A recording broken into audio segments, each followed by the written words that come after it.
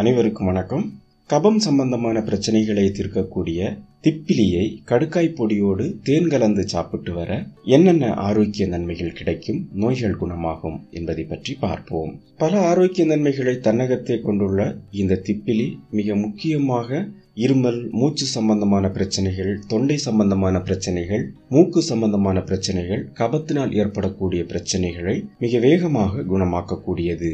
காசநோயை ஏற்படுத்தக்கூடிய கிருமிகளை அழிக்கக்கூடிய தன்மை திப்பிலிக்கு உண்டு. மருத்துவத்தில் பல்வேறு நோய்களை குணமாக்கக்கூடிய மருந்து பொருளாக ஆதி காலத்திலிருந்தே இந்த திப்பிலி பயன்படுத்தப்பட்டு வருகிறது. சித்த மருத்துவத்தில் சுக்கு மிளகு திப்பிலி சேர்த்து செய்யப்படக்கூடிய திரிகடுக மருந்து மிகவும் புகழ்பெற்றது. சித்த மருத்துவத்தில் மிக முக்கியமான மருந்து பொருளாக பல்வேறு மருந்துகளில் இந்த திப்பிலி சேர்க்கப்படுகிறது.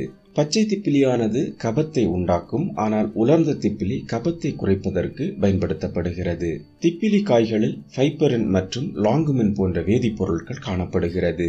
இந்த லாங்குமின் என்ற வேதிப்பொருள் உடலில் ஏற்படக்கூடிய தசைவலி வயிற்றுப்போக்கு தொழுநோய் இருமல் கபம் சுவாச குழல் அடைப்பு மார்புச்சளி போன்ற நோய்களுக்கு சிறந்த மருந்தாக பயன்படுகிறது. திப்பிலியில் புரதம் கொழுப்பு சுண்ணாம்பு இரும்பு தயமின் நியாசின் போன்ற ஊட்டச்சத்துக்கள் காணப்படுகிறது. வயதானவர்களுக்கு அடிக்கடி மூச்சடைப்பு மூச்சிறைப்பு போன்ற பிரச்சனைகள் ஏற்படும். சிறிது தூரம் நடந்தாலே அவர்களால் சரியாக சுவாசிக்க முடியாது. அது மட்டுமல்லாமல் மாடிப்படிகளில் ஏறினால் மிகவும் சிரமத்திற்கு உள்ளாவார்கள். இந்த பிரச்சனையை போக்குவதற்கு அற்புதமான ஒரு மருத்துவ முறை உள்ளது. இதற்கு திப்பிலி பொடி கடுக்காய் பொடி இந்த இரண்டையும் சம அளவு எடுத்து அதில் சிறிதளவு தேன் விட்டு குழைத்து அரை டீஸ்பூன் அளவில் காலை மாலை என இருவேளை தொடர்ந்து சாப்பிட்டு வந்தால் இழைப்பு நோய் மூச்சிறைப்பு மூச்சடைத்தல் மூச்சுக்குழாய் அடைப்பு போன்ற பிரச்சனைகள் நீங்கும்.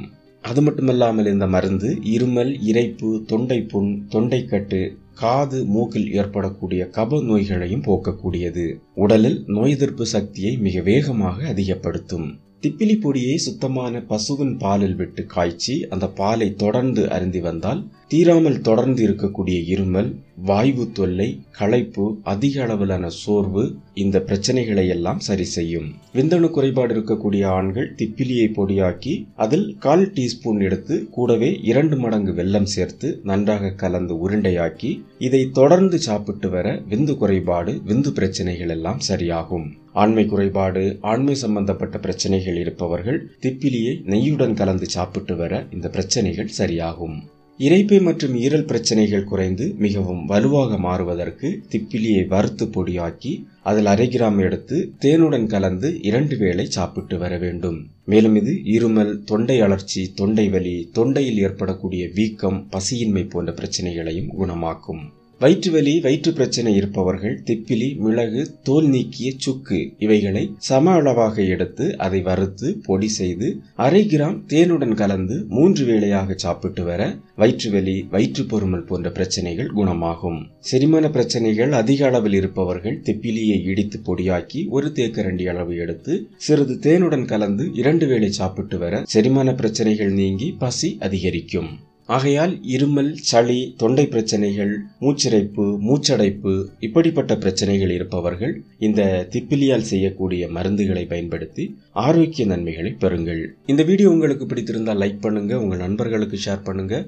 மேலும் இது போன்ற வீடியோக்களை உடனுக்குடன் பார்க்க சேனலை சப்ஸ்கிரைப் பண்ணுங்க. அருகில் இருக்கக்கூடிய பெல் பட்டனையும் கிளிக் பண்ணுங்க. நன்றி.